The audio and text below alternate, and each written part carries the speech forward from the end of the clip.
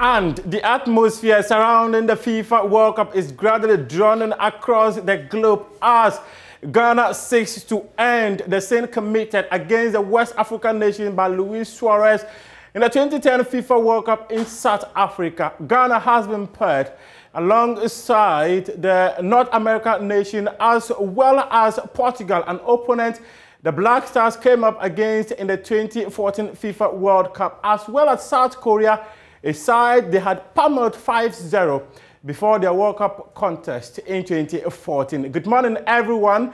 I am Muftau Nabila Ablai, and this is AM Sports. We're going in detail into that Ghana's group, which is Group H, with former Ghana assistant coach Ibrahim Tanko, who is currently the technical director of Ghana Premier League side Accra Lions. He'll be giving us an insight as to what to expect from the group and what the Black Stars can do in their group. And also, we'll be talking about some Ghana Premier League stories as Kumasi Asante Kotoko extend their lead at the summit of the Ghana Premier League to 10 points. Second place, Aduana Stars have got 39 points. The Porcupine Warriors are getting closer and closer.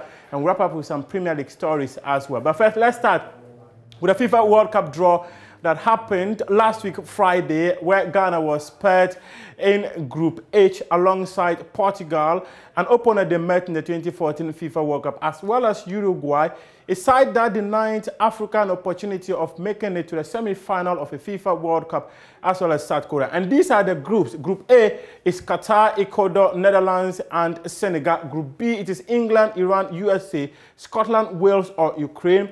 Group C, it is Argentina, Saudi Arabia, Mexico, Poland. Group D is France, UAE, Australia, or Peru. These nations, they will play in their qualifiers in June.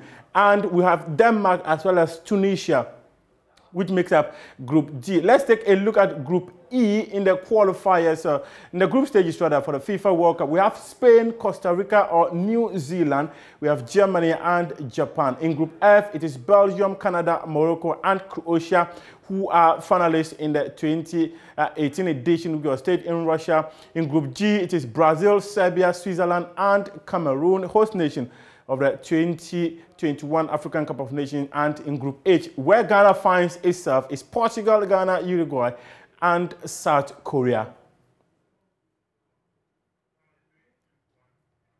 Now let's hear from FIFA President Gianni Infantino, who says that this is a World Cup of peace following the Russia invasion of Ukraine. According to him, it is a competition meant to bring the world together.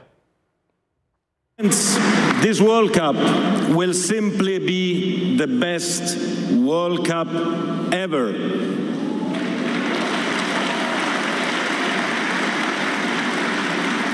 the greatest show on earth, which will have over 3 million spectators here in Qatar and over 5 billion people watching it from home. The world will be united in Qatar.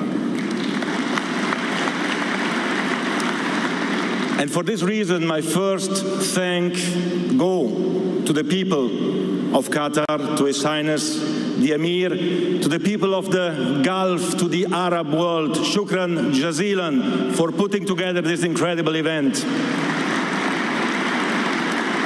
And my congratulations, of course, goes to the 29 teams that have qualified so far and the three that will qualify in June. Congratulations, Mabruk, Félicitations, Glückwunsch. It's fantastic to be here. You are all winners, and this is great. But today and these times, we face as well some turbulences around the world.